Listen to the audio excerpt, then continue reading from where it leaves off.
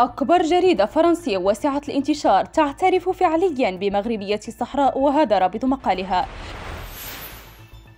في مقال لها بعنوان اللقاح ضد كوفيد 19 في أي دول وفق أي معايير يتوفر؟ نشرت يوم الاثنين 29 مارس 2021 جريدة لوموند الفرنسية خارطة المغرب كاملة متضمنة الأراضي الصحراوية التي تحدها جنوبا موريتانيا.